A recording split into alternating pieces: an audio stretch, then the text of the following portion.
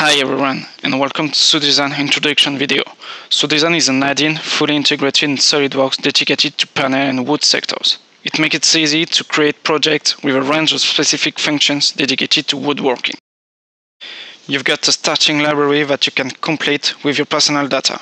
Complete your frame library and start a new project by copying one of them to create a totally parametric furniture, for example. SWOOD Design generates a new SolidWorks assembly by changing part references from your library in order to always have a unique project. Then, link your parts with connectors from your library by drag and drop between two parts. SWOOD Design analyzes the contact face and inserts according to your parametric rules, hardwares and machinings defined in your type of joints like cam and dowels.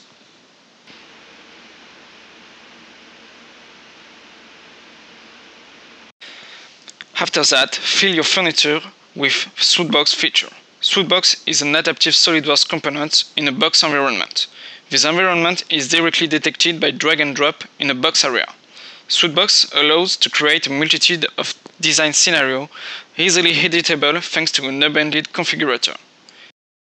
Edit SWOODbox feature and change environment definition or configurator expose parameters. SWOODbox features includes also hardware and machining insertion on adjacent parts, always with parametric rules. Repeat drag and drop until your furniture is completely filled with, for example, shelves, drawers, and doors.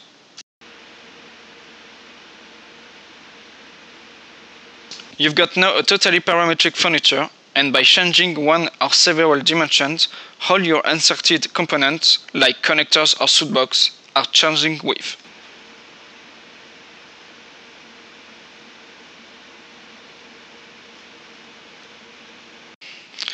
Discover now other SWOOD Design woodworking features.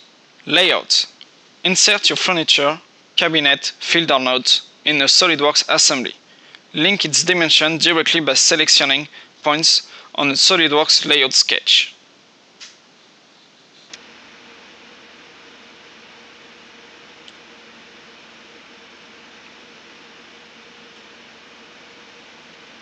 Edge banding management.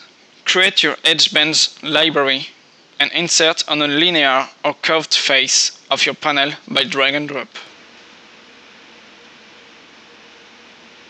Molding positioning. Create your shapes library according to your forming tools on your machine and insert on your panel by drag and drop.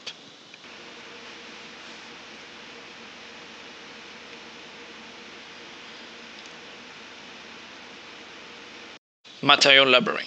Create your material library, including decor, grain direction, and thickness management. Change your part or assembly material by only one drag and drop.